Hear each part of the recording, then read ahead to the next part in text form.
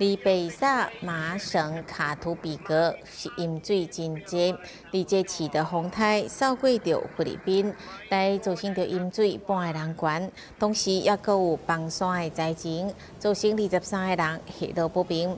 真济伫亚旦假期被登去处理的旅客受困，无法度来行，八万九千人离开到收容中心。比利南省纳瓦尔。卡瓦延等四个城镇拢有土石流，二十六个人死亡，而其他地区也有至少七个人死亡。